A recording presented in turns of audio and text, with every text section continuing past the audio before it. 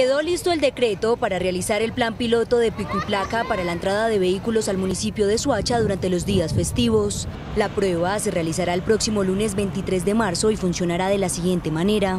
De 12 del mediodía a 4 de la tarde, las placas pares no podrán ingresar por la autopista sur y de 4 de la tarde a 8 de la noche, las placas impares. Solo aplicará el corredor de la autopista sur en sentido Girardot Bogotá.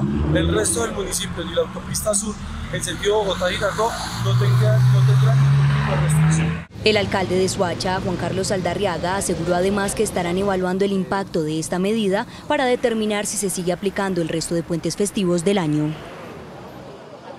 El alcalde de Suacha aseguró además que es importante aplicar esta medida porque los conductores en un día festivo pierden entre 4 a 5 horas intentando ingresar al municipio de Suacha y después a Bogotá. Es por el momento la información que registramos desde Fontibón, Natalia Dávila en Noticentro 1 CMI.